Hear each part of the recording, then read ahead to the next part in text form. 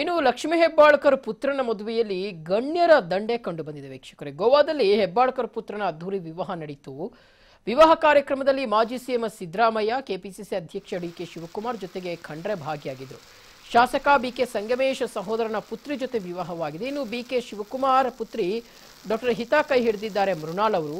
ಗೋವಾದ ಲೀಲಾ ಪ್ಯಾಲೇಸ್ ರೆಸಾರ್ಟ್ನಲ್ಲಿ ಒಂದು ವಿವಾಹ ಸಮಾರಂಭ ನಡೆದಿದೆ.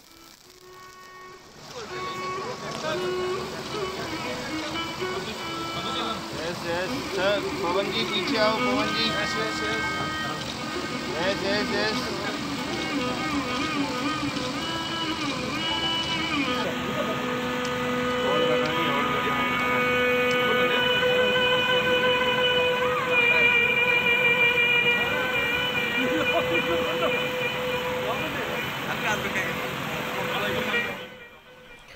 yes, Lakshmi Hebbalkar ಪುತ್ರನ ಮದುವೆಯಲ್ಲಿ ಗಣ್ಯರ ದಂಡೆ, ದಂಡನ ತಾವು ಈ ಸಂದರ್ಭದಲ್ಲಿ ಗಮನಿಸ್ತಾ ಇದ್ದೀರಾ? ಗೋವಾದಲ್ಲಿ ಹೆಬ್ಬಾಳ್ಕರ್ ಪುತ್ರನ ಅದ್ಧೂರಿ ಮದುವೆ ಸಮಾರಂಭ ನಡೆದಿರ್ತಕ್ಕಂಥದ್ದು. ವೀಕ್ಷಕರ, ದೃಶ್ಯಗಳಲ್ಲಿ ಗಮನಿಸ್ತಾ ಇದ್ದೀವಿ ನೋಡಿ. ವಿವಾಹ ಕಾರ್ಯಕ್ರಮದಲ್ಲಿ ಮಾಜಿ ಸಿಎಂ ಸಿದ್ದರಾಮಯ್ಯ, ಕೆಪಿಸಿಸಿ ಅಧ್ಯಕ್ಷರಾಗಿರುವಂಥ ಡಿ ಕೆ ಶಿವಕುಮಾರ್, ಈಶ್ವರ್ ಖಂಡ್ರೆ ಭಾಗಿಯಾಗಿದ್ದರು. ಶಾಸಕ ಬಿ ಕೆ ಸಂಗಮೇಶ್ ಸಹೋದರನ ಪುತ್ರಿ ಜೊತೆ ವಿವಾಹ ನೆರವೇರಿರ್ತಕ್ಕಂಥದ್ದು. ಸೊ, ಬಿ ಕೆ ಶಿವಕುಮಾರ್ ಪುತ್ರಿ ಡಾಕ್ಟರ್ ಹಿತ ಕೈ ಹಿಡಿದಿದ್ದಾರೆ ಮೃಣಾಲ್ ಅವರು.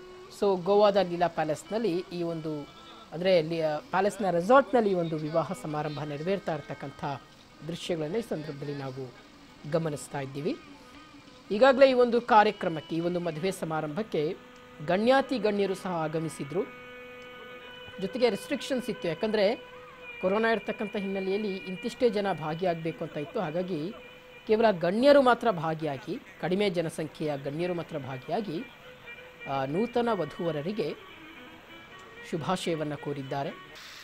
ಆಶೀರ್ವಾದವನ್ನು ಮಾಡಿರ್ತಕ್ಕಂಥದ್ದು ವೀಕ್ಷಕ ನೋಡಿ, ನಾವು ದೃಶ್ಯಗಳಲ್ಲಿ ಗಮನಿಸ್ತಾ ಇದ್ದೀವಿ, ಗೋವಾದಲ್ಲಿ ನೆರವೇರಿರ್ತಕ್ಕಂಥ ಒಂದು ಶುಭ ಸಂದರ್ಭದ, ಮದುವೆ ಸಮಾರಂಭದ ದೃಶ್ಯಗಳನ್ನು ನಾವು ಕಣ್ತುಂಬಿಕೊಳ್ತಾ ಇದ್ದೀವಿ.